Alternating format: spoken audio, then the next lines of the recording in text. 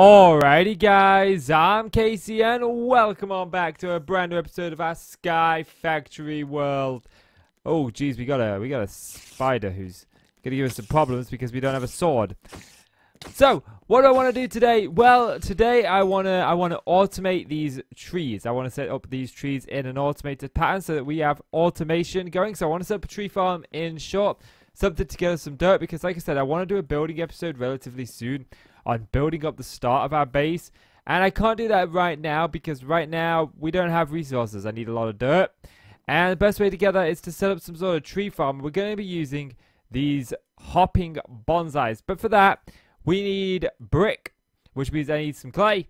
And I also need some iron for the hoppers. We can't use wooden hoppers. We actually have to use iron hoppers, which is a little bit of a problem. But I've gone ahead and I've grinded out at least a stack of these. So we should be able to make a stack of iron amber and a stack of clay. And then I can smelt them down. So, let's just have a look at this very quickly.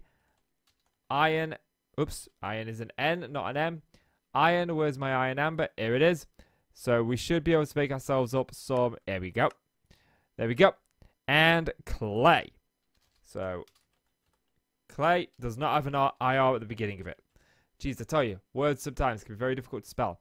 And there we go, we got ourselves a stack of clay. Is this in this pack? I think it was. Yes. So, we're going to go ahead and just smelt up these clay balls into brick. And we're also going to go ahead and fire up this amber in our smeltery that we made up last episode. Uh, where's the other one? Here it is. There we go. We're also going to go fire this up in our smeltery. I'm running low on food, so I can't vote at the minute. But I don't just want to set up a tree farm in this episode. I also want to look at getting Tinker's tools set up. I think that'd be really kind of fun to do. I want to have a set myself a set of proper tools as opposed to these stone crappy ones. So we are going to need even more iron come later. So yeah, I'm going to let this iron smelt up into seared stone. Uh, not into seared stone, sorry, into liquid iron. And then I'm going to pour it out into here.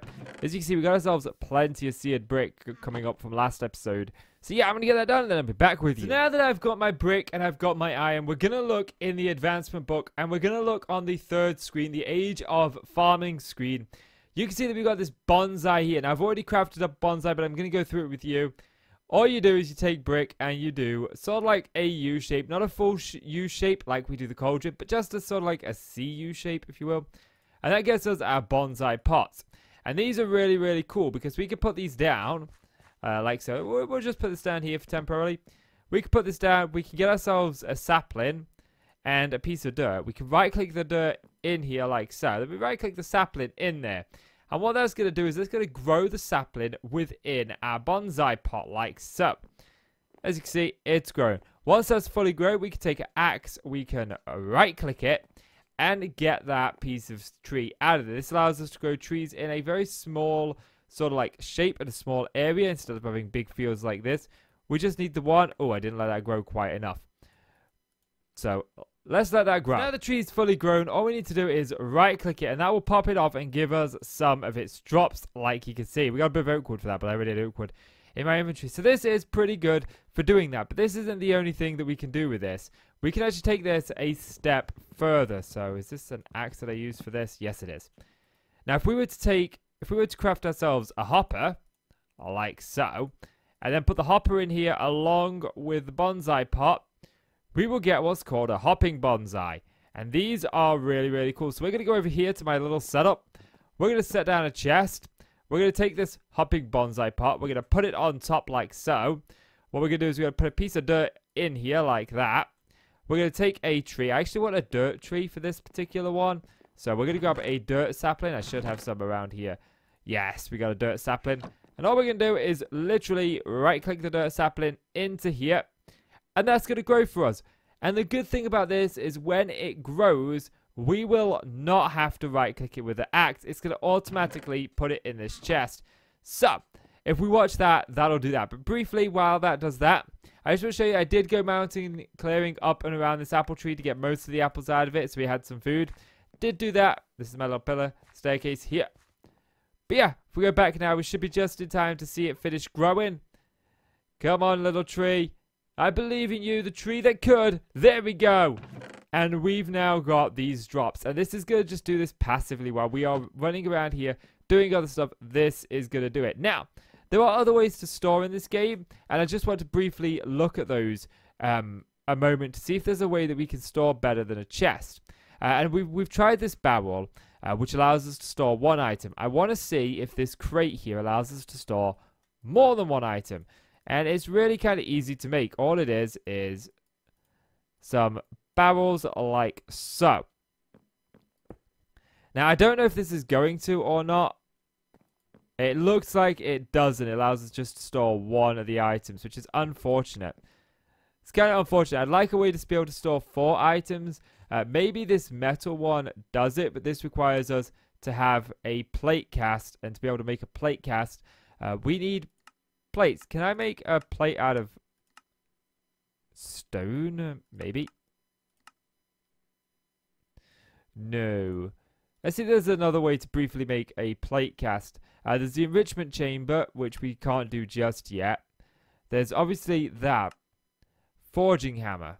How do we make the forging hammer? Uh, that might be a possibility. Let, let, let's briefly try this. So, what was the forging hammer? I think I needed some slabs as well for the forging hammer. Not sure how this works. This is completely new to me, guys. Completely new to me. Uh, I need some stone. Okay, I do have some stone. I think it's over here, my stone. Come on, stone. Where are you hiding? Be hiding somewhere where I'm looking. Nope. Okay, I know I have stone. I know I have stone. It was in this chest. I just overlooked it. Okay. So I don't know if this is going to allow us to store four or not. But it would be nice if it does. Okay. So, let's go put this forging hammer down. Um, we need iron in there.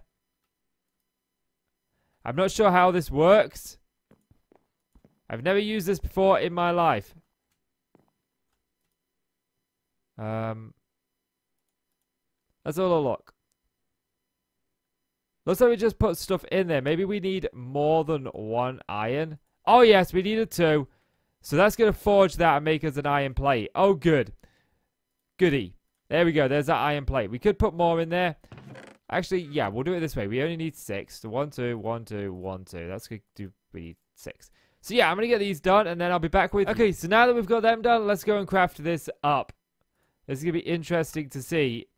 Not sure how this one's going to work. It might just store one item. Yeah, looks like it just stores one item. Okay, so that, that didn't kind of work the way I was hoping it would work. But at least we've got this now, so... I don't know, let, let, let, us make use of it. Um, should we just put it, like, on here? Oh, does it actually keep the items that's in it? Oh, that's awesome.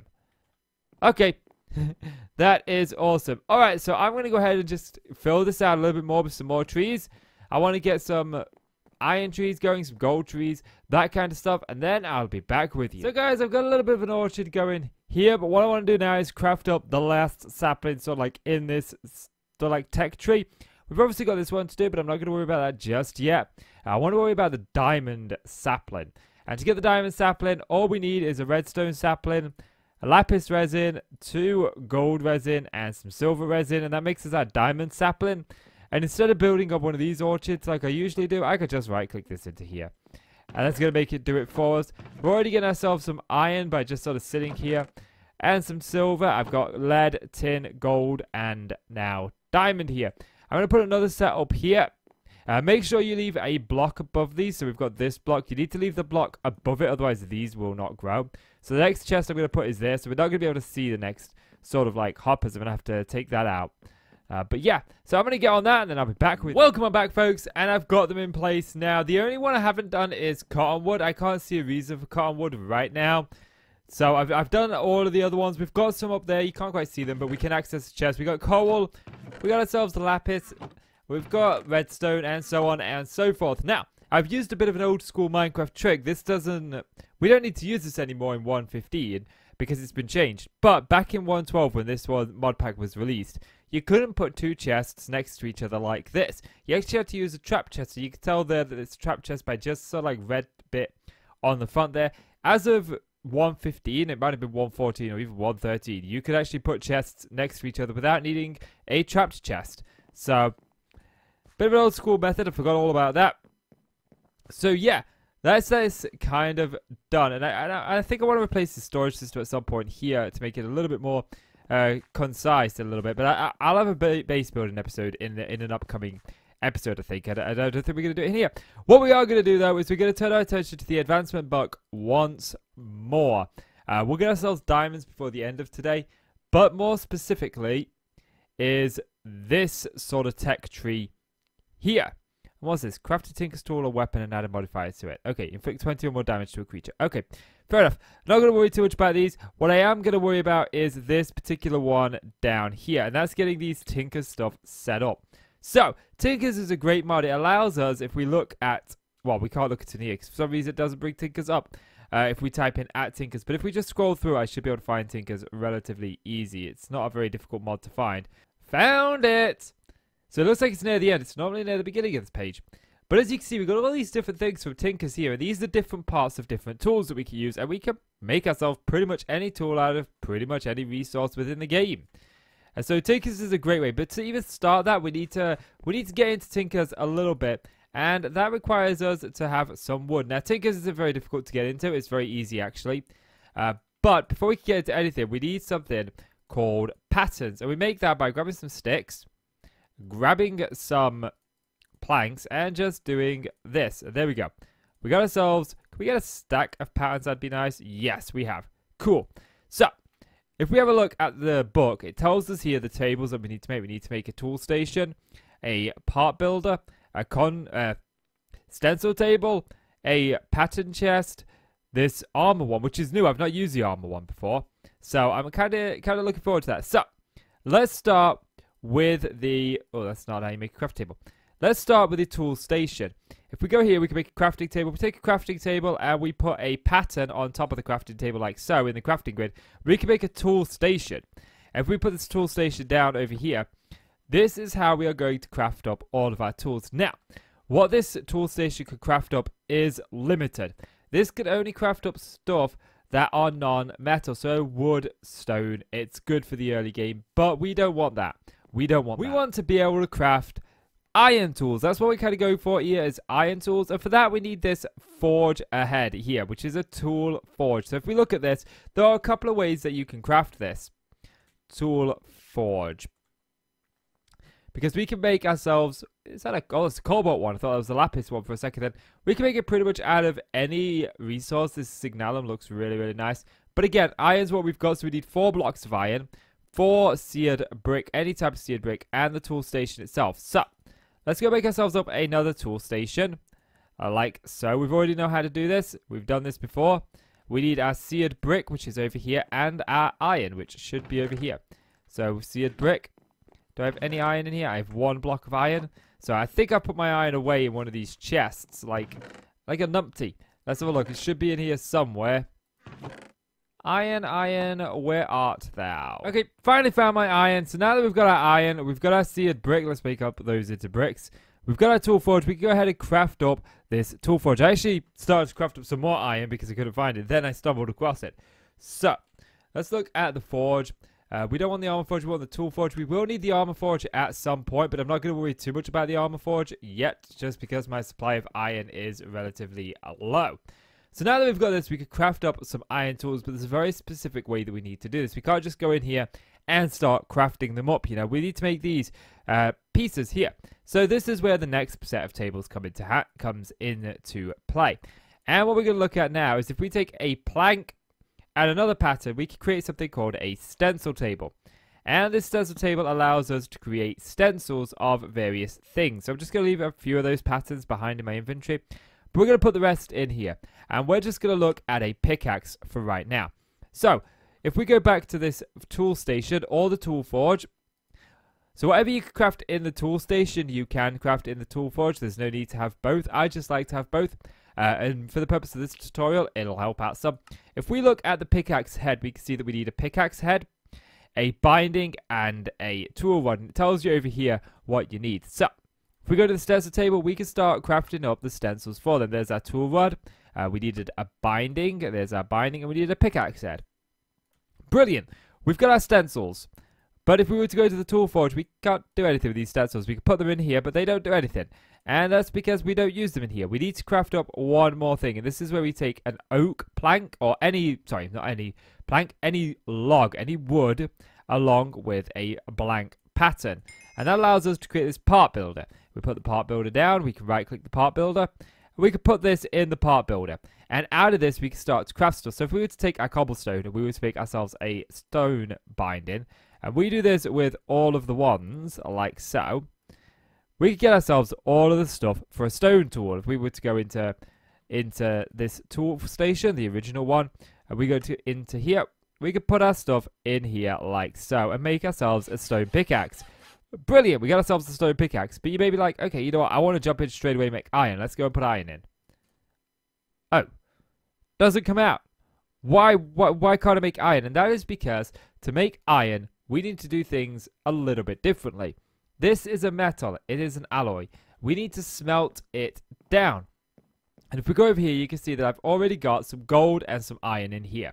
Because to be able to do this, we need to create something called a cast. We've already done an ingot cast. But what we're going to do now is we're going to make up some tool rods. We're going to make ourselves a pickaxe cast. And we, we aren't going to use the pickaxe itself. What we are going to use are these tools. Again, these, these stencils. We're going to go into the part builder. We're going to make ourselves one of each of these stencils. So we're going to make ourselves this stone binding. We're going to make ourselves the tool rod. We're going to also make ourselves the pickaxe head. And then what we're going to do is we're going to come over to here. We're going to take our stencil. We're going to pop our stencil in after taking our ingot cast out. We're going to set this to gold. We select the metal that we want by clicking it. If we were to click iron and put iron at the bottom, it's always going to pour from the bottom. And then we just pour the gold around this. What that's going to do is that's going to create us a cast of that. So once we've got our cast, we're going to make change to the iron. We're going to fill this with iron, and that's going to make us an iron binding. So now we've got our iron binding. We're going to take our tool rod, put our tool rod down. We're going to swift this over to gold. I think I'm going to run out of gold here. Oh no, it's blocks, not ingots, my bad. And we're going to switch over once we've got this. Switch over, pour in our, uh, our iron so we get our iron tool rod. Now, when we do this, so for example, we put the pickaxe head in, as soon as we cast the pickaxe head cast, it's going to destroy this pickaxe head. So if we look at here, we don't actually have the stone ones. We've got our iron ones, because uh, the hopper's already pulling them out. Or you could just right click to take them out, you don't need the hopper like I do. But it will destroy the first one that you put in. So there we go.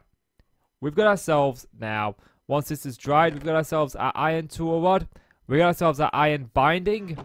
And we got ourselves our iron pickaxe set. So we can go over here. If we were to go into the tool station and try to craft this in the tool station, it's not going to let us. Oh, maybe it does let us. Okay. Oh, yes, of course, this just allows us to craft these ones. It was changed. That's my bad, guys. My bad. My bad. It's I, am out of practice with this tool forge. But anyway, let's go into here. Let's craft up our iron Pickaxe. Brilliant. We got ourselves the iron pickaxe. We don't need that stone one anymore. We've got this iron one. Now, at this point, our inventory is going to start getting cluttered. Because if we were to look at the rest of these, like if we were to make ourselves a sword, we need sword blade, wide guard, an axe. We need a axe head. We need a lot of these. So we're going to end up swamping our inventory with these. But there is a cool thing in the pack that allows us to store these a little bit better. And all we need is a chest and a blank pattern. That allows us to create this pattern chest. And if we were to put this pattern chest down, we can store in all of our things. Now, you can't store in, you can store in either the metallic ones, the casts, or the stencil pattern. You can't store both, so it might be worthwhile having two of these. Now, at one point in some mod packs, you can actually store both in one chest, but obviously in this pack, that's not a thing. So we're going to make up another one of these like so. Put this down and pop those in. So we've got a place to store all of these and that is brilliant. So I'm going to get on making the basic tools. I'm going to make a sword, an axe, and a shovel. I'm not going to worry too much about the extra tools. We'll cover that in the next episode. But yeah, let me get to that and I'll be back with you. Guys, I've got myself a set of iron tools here. We got ourselves the iron broadsword, the iron pickaxe, the iron hatchet, and the iron shovel. And normally I make up Alice Copper and Flint and Clint, yeah, Flint Eastwood, that's it. Which are my usual sword and pick and axe in this series, but I don't have access to copper yet. I don't even know if copper's in this pack, to be honest with you.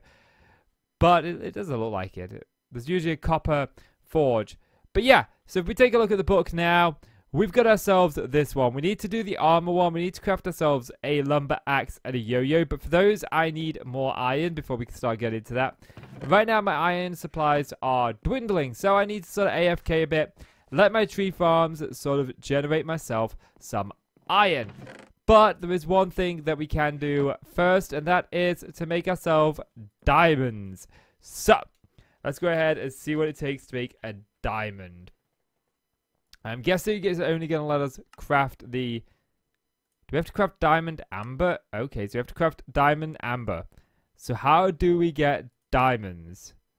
Oh, we need to make a gem cast. Okay. So I need an emerald to make a gem cast. Okay, this is getting interesting. This is getting interesting. So, you do not trade for emeralds, do you? No, sir, you do not. So is there another way to get diamonds that I just haven't seen yet? We could have used diamond acorns. Really? I go ahead and craft this diamond amber. Oh, look at that. We've got enough. We've got enough acorns to make a diamond. Oh, brilliant. I've never had to make diamonds in the Tinker Smeltery before, so this is going to be a first. But there's our diamond. Let's go put our diamond amber in here so we can craft up ourselves a gem cast. Oh, actually, no. The gem cast requires... What does it require? It requires emerald, doesn't it? Yeah, look, it requires emerald. There's no option to do this as diamond. Oh. Although I suppose we could just, yeah, we could just smelt this down and craft it into blocks. So if we were to do not, oh, we can't.